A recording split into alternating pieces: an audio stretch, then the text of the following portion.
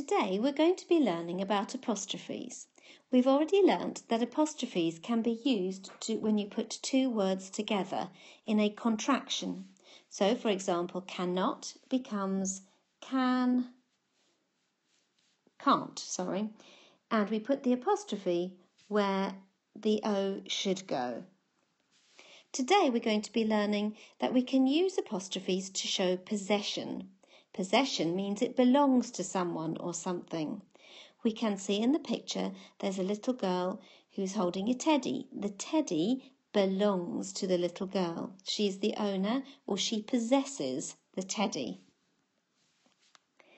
Looking at these um, pictures, we have David's boat, Jenny's dog, and Lottie's friend.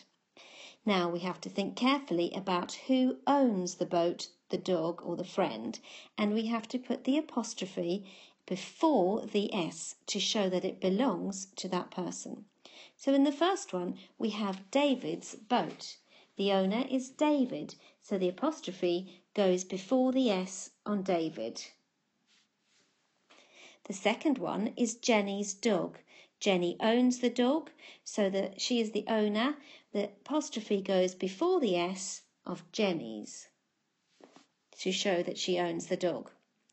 Lottie's friend, the apostrophe goes in front of the S to show that Lottie is the owner of the friend. Sometimes, however, we have plural nouns which end in S, so there's more than one. For example, the bird's nests. There is lots of birds in the nest. Who owns the nest? It's the birds, plural.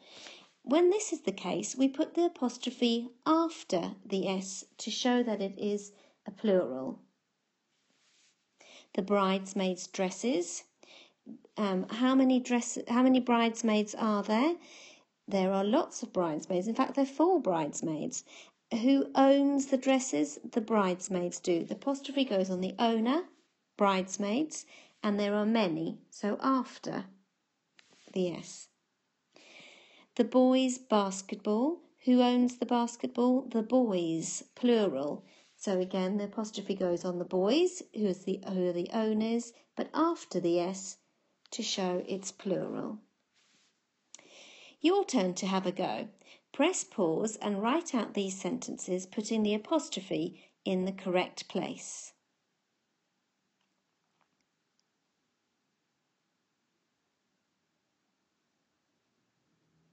Now check you've done this correctly. This is Joseph's hat. The hat belongs to Joseph. Therefore, the apostrophe goes in front of the S for Joseph. I want Ella's ice cream. Who owns the ice cream? Ella. Apostrophe goes on Ella's ice cream. I took Tom's shoes. Who do the shoes belong to? They belong to Tom. Goes the apostrophe goes on Tom, who's the owner. Now I'd like you to try and make your own sentences. Choose one or two of these pictures to write sentences about, thinking carefully who owns the cake, the socks, the skirts, the chocolate, or the tongue.